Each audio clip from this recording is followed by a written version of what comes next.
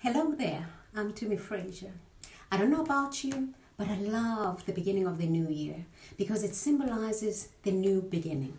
It is an opportunity for us to turn over a new chapter, to write the new story of our lives. Now, I know for many of you, 2019 may have been a very difficult year, and it is important for you to learn whatever lessons there are to be learned from last year. However, focus on what this year is bringing because there are endless opportunities that are ahead of you. Not only are we entering a new year, but we're also entering a new decade. So run with it and grab whatever is available. All the best.